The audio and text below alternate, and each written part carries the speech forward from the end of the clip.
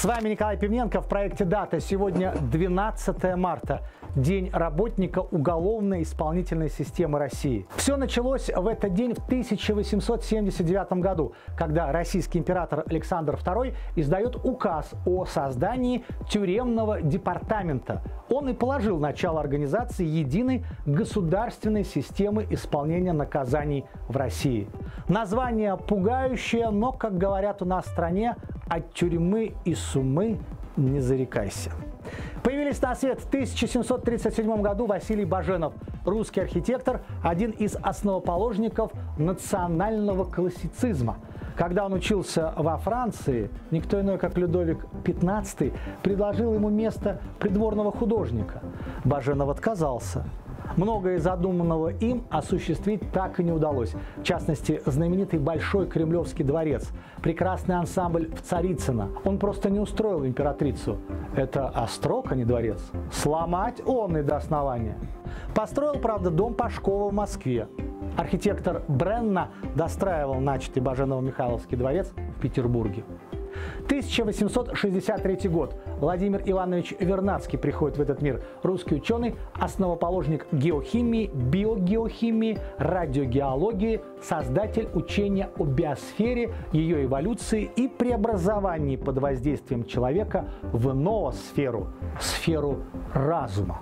Зураб Садкилава родился в 1937 году. Грузинский певец, народный артист СССР, исполнитель лирико-драматических партий в Грузинском национальном театре оперы и балета, а затем в Большом театре «Тенор».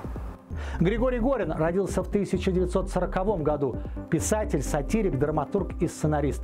Блестящий сатирик 20 века, Горин – автор оригинальных сюжетов, мастер тонкого юмора и талантливый драматург и сценарист. Почти все пьесы Горина – «Тиль», «Поминальная молитва», «Забыть Герострата», «Чума на оба ваши дома», «Шут Балакирев» с успехом шли на сцене и собирают аншлаги до сих пор.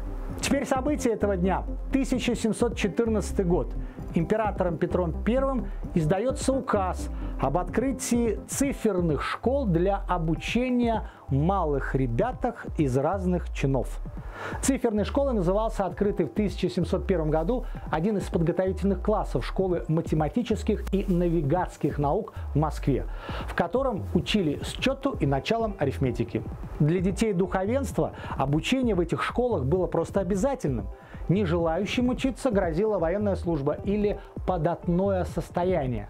Юношам, не окончившим курсы циферной школы, даже не должно было даваться разрешение на вступление в брак – 1854 год. Заключен Константинопольский союзный договор. Это военный союз Великобритании, Франции, Турции. Против кого? Против России. Эти страны должны были направить в помощь султану морские сухопутные силы, а по окончании войны вывести свои войска с территории Османской империи. В свою очередь султан обязался не заключать сепаратный мир с Россией. Договор включал и иные условия – После его подписания Франция и Великобритания вступили в войну с Россией.